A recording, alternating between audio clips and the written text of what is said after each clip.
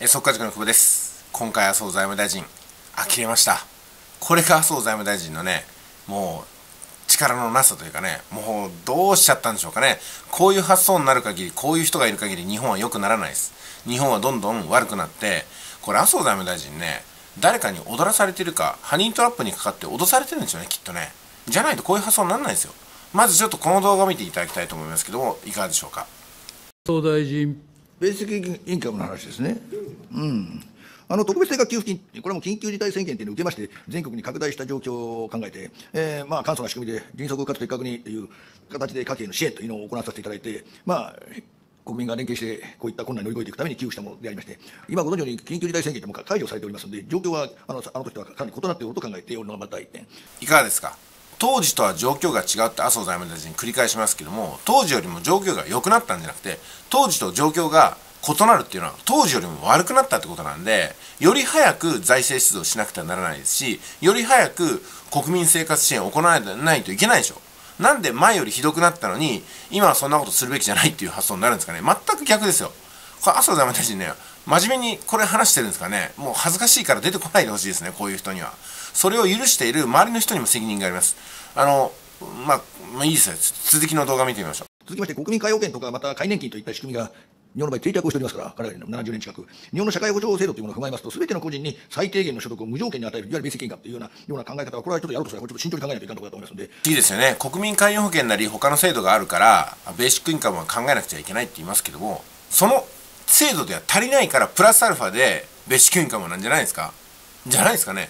この制度があるから全部大丈夫みたいな言い方しますけどもこの制度があってももうね時代が変わって足りなくなってきたんですよ。しかも今危機の時代ですから今プラスアルファの所得をボンボンボンボン放り込まないと、まあ、財政を取り仕切ってる人なのでねこれが分かんなければ何の話も進まないと思うんですよ。皆さんいかがですかね？これ麻生財務大臣と質問してる渡辺、えー、義美さんとね渡辺義美さんでしたっけ？質問者の方とどっちがまともなことを言ってるかこれ分かりますよね？誰でもね。じゃあ続き見てみましょう。あの私どもは感染拡大防止と社会活動の、まあ、再活性というのを両立を図るために、いろんなものを考えて、政策を考えてまいりたいと思っておりますけど、ベーシックインカムとして2回目のいわゆる特定給付金というのを配るというような活動は今持っておりません。渡辺義美君。えー まあ、先ほど戦前の日本がですね、貧困対策に失敗した、おろそかにしてしまったということを申し上げましたけれども、貧困とはなぜお金がないことですよ。じゃあ、そのお金がない状態に、これを地方に任せる、民間に任せるというのは無理です。貧困対策というのは国家の仕事です。お金がない状態を貧困というんだったら、お金を配ればよろしい。いや、そんなこと言ったら、インフレになるじゃない。だからインフレ目標があるんですよ。インフレ目標2%が達成できずに、デフレになりかかっている。需要ショックがこれだけ起きている。デフレギャップが55兆円。ちょこっと戻ったって、まだ30兆円以上ありますよ。そういう時に、国債増発して、お金配って、なんか罰が当たることがあるんですか？全くありませんよ。まあ、先ほどあの少子化の話がありました。極めつけですよね今ねデフレ経済なわけですよお金をするとインフレになるインフレになるって言って別にインフレ目指してるからいいじゃないですかこのままだとデフレが止まんなくってインフレ目標2%なんて夢のまた夢ですよだから山本太郎さんが言うようにね毎月毎月国民全員に10万円配って144兆円かかります、えーこれねまだまだ2年も3年でも4年でも毎月10万円ベーシックインカムのように国民に配ってもインフレ2%いかないわけですよ。こういうのが参議院で試算されてるわけですから挑戦してみるしかないと思いますけどもね。もちろんそれに対していろんなね歪みは出てくるし副作用がないとは言いません。でも今副作用を恐れているような段階でなくて手術をしなければ救われない命があるってことなんですよ。その手術をした後にね後遺症が残るみたいなことはこれはあるかもしれませんけどもその後遺症に対してはその時また対処していけばいいというそこまでね来てると思うんですよ。後遺症を恐れて挑戦しないのかそれともね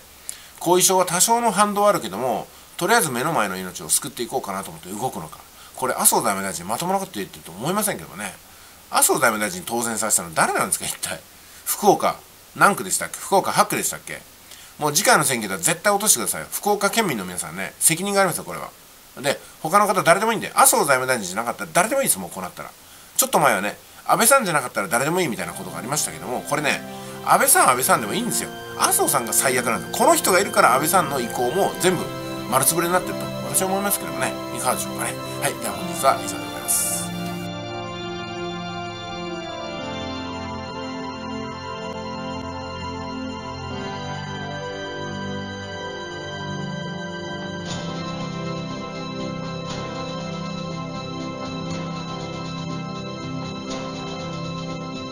孫子孫子孫子孫子孫子朝